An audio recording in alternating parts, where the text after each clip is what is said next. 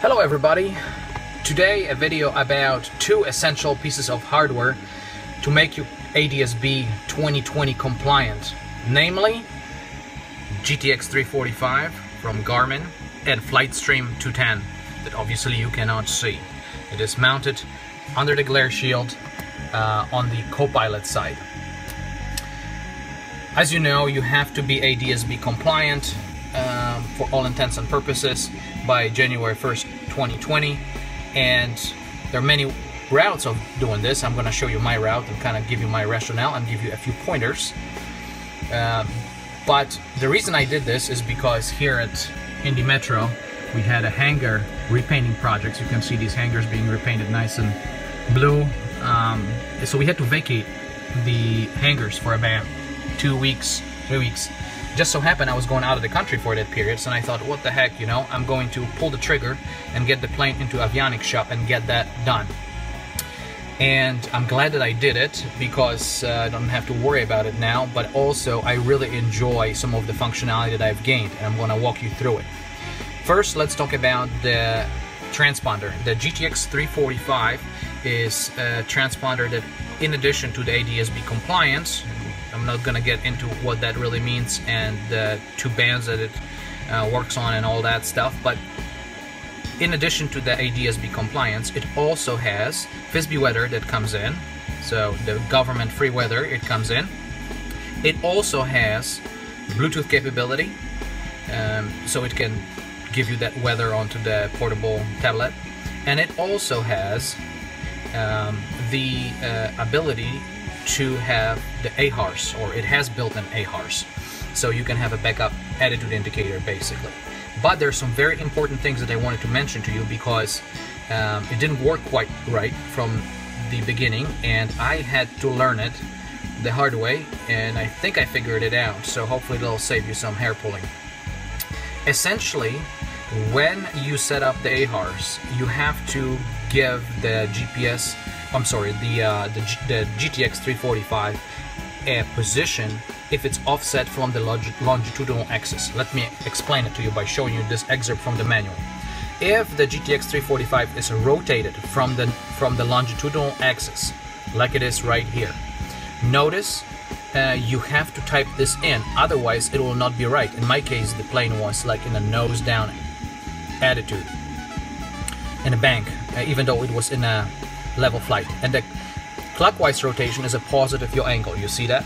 Now, the Bonanzas, or at least the pre-1984 Bonanzas, have typically have that avionics panel that's rotated about 8 degrees towards the pilot. So you have to type this in, and let me show you how to do this. Well, first, we need to turn this off. Now I'm going to hold Enter and turn it on at the same time. Now it's in the setup mode. Now I scroll with the function key until I see sensors here and then I scroll down until I see internal AHRS orientation. It has to be set up forward, meaning that the connectors on the back are towards the front of the airplane, not the back. The vent is positioned to the, towards the left of the wing. And the vent, as you see, it's here. You're looking from the back of the unit, so it'll be positioned towards the left wing. And now you have to put that very critical yaw offset of 8 degrees. Once you do this, you turn this off, and now it's saved. And now your plane will be hopefully flying, uh, or the AHRS will be showing like the airplane is in a level flight, um, and it's not gonna show it's like in a bank, even though you're flying nice and level. So hopefully that saves you a little bit of a headache, because certainly that's not very well documented. Now, somebody says, well, using Flightstream 210 that also has an AHRS inside, why do you bother even configuring this? It's a very good question. And somebody told me, one of the avionics uh, guys on BeechTalk told me, that if you have this particular configuration, meaning you have the 345 and Flightstream 210, and they're wired uh, together, then Flightstream 210 will ignore its internal AHRS and will use the one that is built in here. So therefore, you have to configure this AHRS even though you think you might not have been using it. You, you thought you might be using the one that's inside of the flight stream. And my flight stream is mounted perfectly uh, in line with the airplane and it's nice and level so first I was scratching my head as why is this thing not showing like I'm in level flight and then only after a while I figured this particular tidbit not very intuitive and I wish that was documented more better um, because clearly um, that's not something that it's well my avionics shop I don't think they knew about that they thought you know if I'm connecting to the Flightstream 210 the AHRS is the one that's inside of it Okay, so that's so so as so much about this box. It's other than that, it's very straightforward transponder. You know, it's um, it's a regular uh, behaves like an irregular transponder. It, it, says in the manual that it should be always on the alt. Um, you know, um, it was, should be always in the alt setting here. So when you turn it on, it typically will be just like that, alt uh, so you don't have to do the standby or any of that stuff like with the old transponders. And other than that, it's got a few features like it's got some timers, it's got some altitude alerts, um, and you can set up your backlight and all that stuff. But um, other than that, it's very straightforward transporter, so I don't really need to talk to you more about this. It uses, you have to have a, uh, I think there's a version with a built-in GPS, but I'm using the uh, uh, 530 WAAS um, GPS here to drive the GPS position source for the transponder. So that's how it's wired.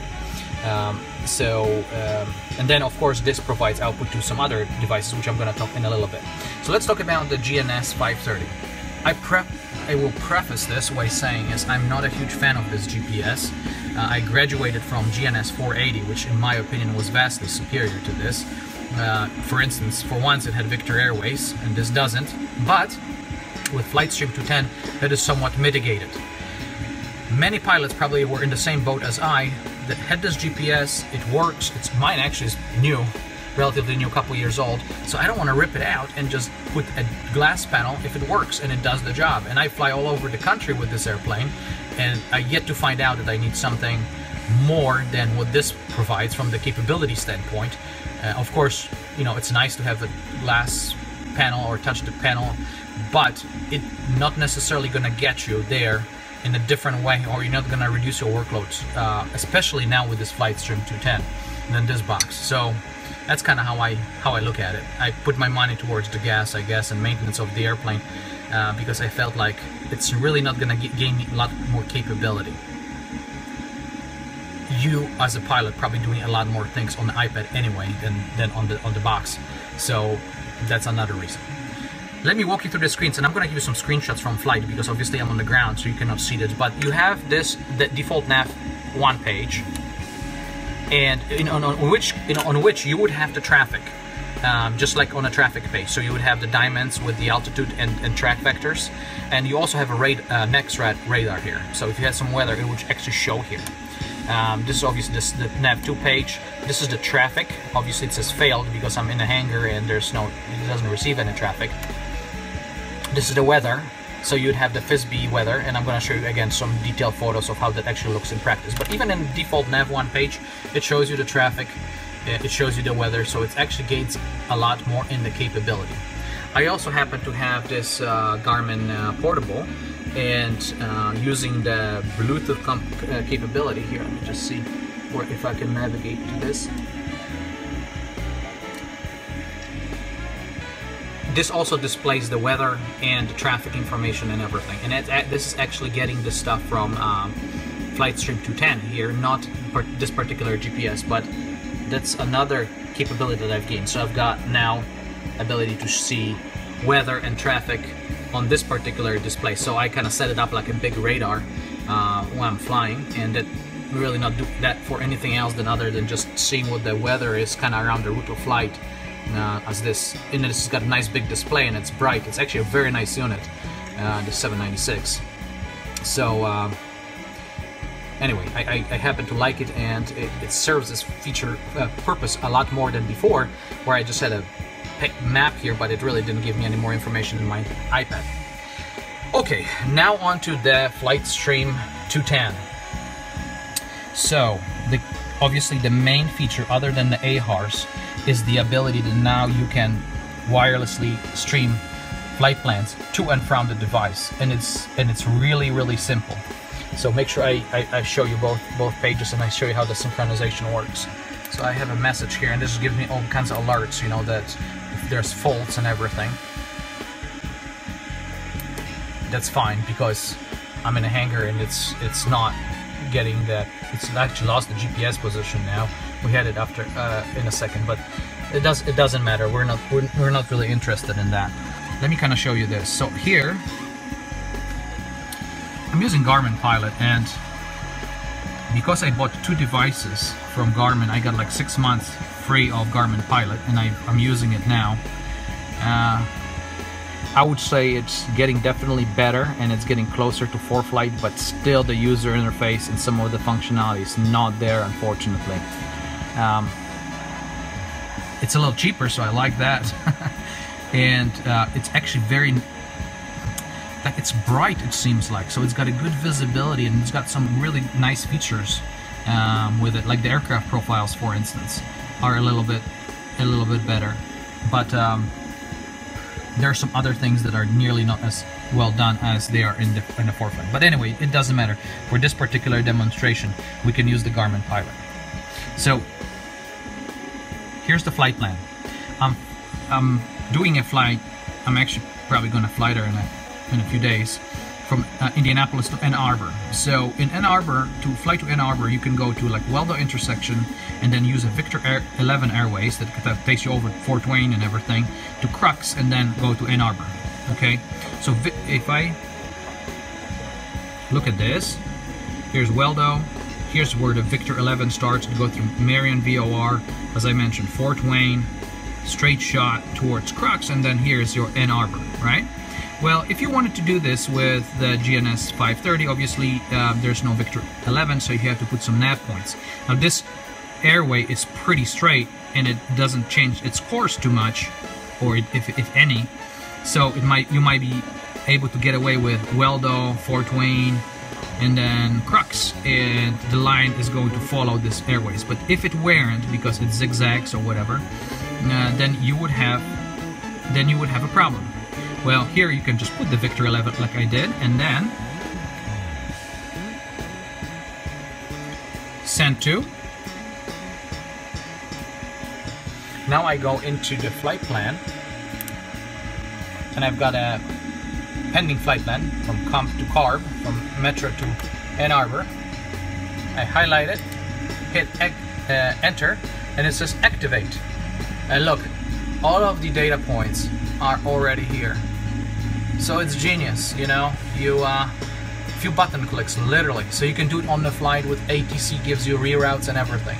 And I gotta tell you, um, initially, I wasn't going to spend the money for the Flightstream 210 because I thought, man, I'm flying in rural Indiana here. Um, you know, it's direct to everywhere. But, you know, those few times in a year where you go into busy airspaces like New York or out in the West Coast, it pays for itself. And even, you know, if you fly longer distances, sometimes you get reroutes and everything. It just makes it so easy. And I am glad that I spent a little bit of money on this. Okay, so hopefully this was illustrative. I've seen videos on this particular feature before, so it's not like I'm the first guy that's showing you this, of course. But I figured I'll show you this in totality with the 345 and uh, and everything else that I've got going on. Now, you probably are if you're astute, you're probably seeing that my Stratus 2S is still on a glare shield. And here's kind of my thought process. I am probably going to migrate to ForeFlight again. So it means I'm to be able to use the Stratus. And the only reason I'm thinking about keeping that guy, because keep in mind, I do have AHRS here. Let's take let, let me show you. Of course, you don't have attitude information. It doesn't seem to be working now because we don't have GPS and we're in a hangar. But you have AHRS in here and you can do the same kind of a thing like you would do with Stratus 2S. But if my airplane lost total electrical power, which is a scenario that is, however unlikely, it can happen because remember my video about that master relay. That thing craps out again and it happens in flight. I'm gonna lose everything. With that meaning, I'm gonna use my GPS, I'm gonna use my AHRSs, I'm gonna have you lose basically everything. The engine's gonna be running, but the cockpit's gonna be cold and dark. The only two things that I'm gonna have that may get me safely if I'm in IFR conditions would be my Stratus 2S, which is battery powered. So, you know, this is on continuous charge. You see my plug in there. So that always will be charged and ready to go. And obviously my iPad that is battery powered and it's plugged in. So obviously it will have 100% battery. Now, if that were the case, then I that this is going to be my backup. That is truly battery and truly independent of the airplane electrical system. And that's why I'm deciding to keep it for that very reason. And if you are in the same boat as I am, uh, you might want to just just do this. I was initially thinking about using some battery powered instrument here and everything, but you know that trick that they teach you at uh, Bonanza uh, proficiency training, where you can overlay your approach plate here, you can have your AHRS in here, and if everything goes down to proverbial crap, you can maybe even shot, shoot an instrument approach with having the AHRS and the approach georeference approach plate in the top display. I'm not saying that it's legal. I'm not saying that this is something that um, you know you should do if everything else is working. Of course, this would be an emergency situation only. Uh, so if you didn't have that, and let's just say you just had your attitude indicator here and it's electrical power, what good does that gonna get you? If your instrument in the clouds and you need still a position and be able to, to, to get down to, to earth somehow safely. So just having an electrical power attitude indicator uh, is somewhat limited in my opinion. You need to ideally have a battery powered GPS system uh, like WAAS and this is probably the closest thing that you can get right and I think there have been stories about people that actually uh, did what I was just explaining in real life and they lived to tell the story. So may not be such a such a bad idea after all. Okay, I'm gonna wrap this up here. I think I've discussed everything that needed to be discussed. Um, the Flightstream 210, as I mentioned, is under the glare shield on a low shelf, right about here where the inside is mounted. Mm, so that is powered off the airplane power and it talks to the uh, um, well it talks to the iPad and it talks to my um, portable Garmin GPS via Bluetooth. So you saw the configuration here. Flightstream 210. Okay, you can also go home here and go to Connect and I'll show you that the Flightstream 210 is connected. You can do things like reset pitch and roll and reset the AHRS I don't think that stuff works very well, to be honest with you, because it doesn't seem to do anything. The Bluetooth configuration and everything. But once it's set up, uh, and once it, uh, the uh, stuff is set up on the um, uh, the Bluetooth is configured and it's a one-time deal. Uh, whenever you powered it, you don't have to like reconnect to things. It'll automatically reconnect, which is really, really super nice. And to do this, or where the configuration uh, when the configuration is it's right here. Bluetooth status and device configurations in the aux page is where you would set that up and, and pair them and everything. But again you only need to do this once. Okay I hope this was informative to you for you. And uh, if you have any questions send me your comments uh, down below. And I'll do my best to try to answer it Thank you.